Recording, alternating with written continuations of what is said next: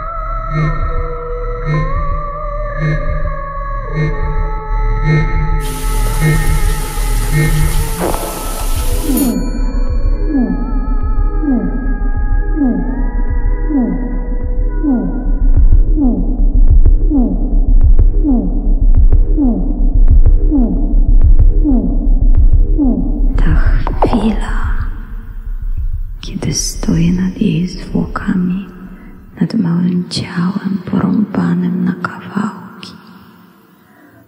na krew na moich rękach i myślę, o Boże,